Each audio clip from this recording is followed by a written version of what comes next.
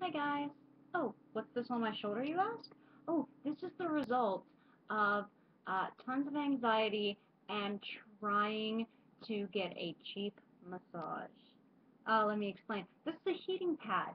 Uh, as many of you know, uh, well, my friends know, I have a persistent knot in my left shoulder. I've been getting massages as often as I can afford for about eight years uh, because the knot it never really fully goes away, and uh, it just keeps tensing back up, especially in times of stress and, and anxiety, which you've noticed by my videos probably that I have a lot of anxiety as of late. Um, so I started having some really bad pain and, and uh, loss of range of motion uh, because of the, the knot in my shoulder. Uh, two days ago, I found a place that says an hour-long massage for $28. How? What? How is that magic? Wow! And it's a half an hour of a foot and leg massage and then a half an hour of back, neck, and shoulder massage. So I get there, and uh, the only person who speaks English is the receptionist. Uh, all of the massage therapists are Asian and they don't speak English. Uh, they take me back to this wide open room. It's it's not like a private room. It's a bunch of people all getting massaged at the same time in this open room. And I put my feet in the soaky tub and he my guy puts a blanket over me and a thing over my eyes and you know starts like rubbing my face and all that while my feet soak. And then he gives me the foot massage, which was nice. And then, uh, you know, still fully clothed, by the way. It's a fully clothed uh, massage, which became evident as soon as I realized that this was an open room. Uh, so then uh, he tells me to turn over by doing this because he didn't speak English. So I, I turned over. He started uh, rubbing my back and it was and my shoulders, and it was it was good for about a minute and a half until he discovered the knot.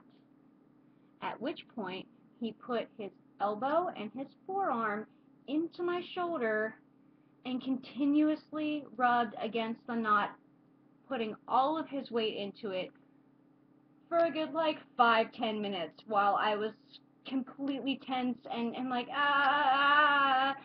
Um, then he did it to the other shoulder, but the knot on this side isn't nearly as bad, so it didn't hurt as bad. Uh, and he just kept coming back. Oh, it resulted in me having some slight discoloration, also known as bruising, uh, on my back. And, uh, and I was basically completely unable to, to move my arm at work uh, yesterday.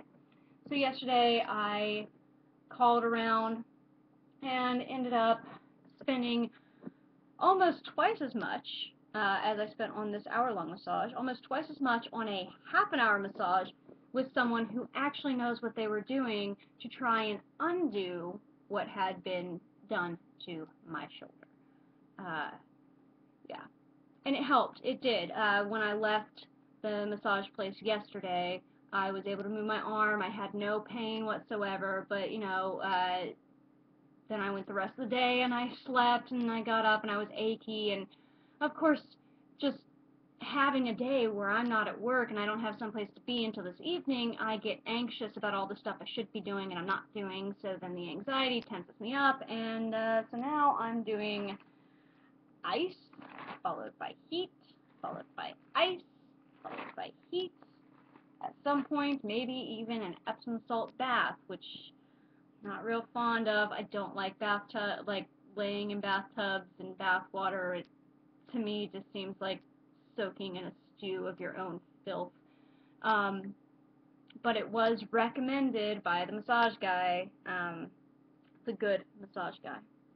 Uh, anyway, so there's like an update right there, and um, if you if you're in Chicago and you're looking for a super cheap massage, do not, I repeat, do not go to a place called Fitfoot on Fullerton Avenue where they offer you $28 hour-long massages unless you like getting the crap kicked out of you for a full half an hour. The foot massage is nice though. Bye.